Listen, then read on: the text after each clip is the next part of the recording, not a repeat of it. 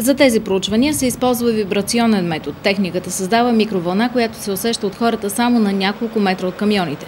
Сигналът се регистрира последством приемници и с кабел се изпраща до записващата станция.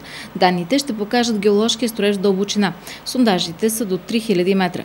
Това напълно отхвърля варианта за търсене на шистов газ, защото той се намира в глинен слой, който е на над 5000 метра дълбочина. Ние в момента търсиме нефти и газ в пясъчници и варовици.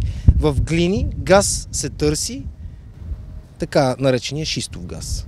Те трябва да са на много голяма дълбочина, над 5000 метра и съответно органичното вещество да е реализирало голямо количество газ.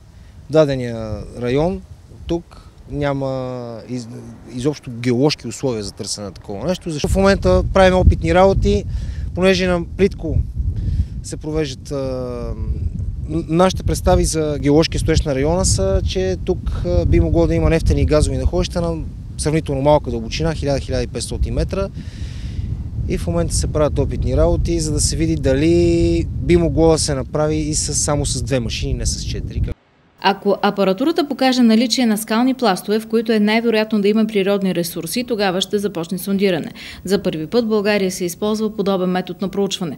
Техниката е внесена от Франция. След камионите няма следи, че мястото е проучвано, освен от гумите на машините. Всички собственици на ниви, чиято реколта не е била прибрана преди проучването, ще бъдат обещетени, гарантираха от компанията, извършваща тестовете.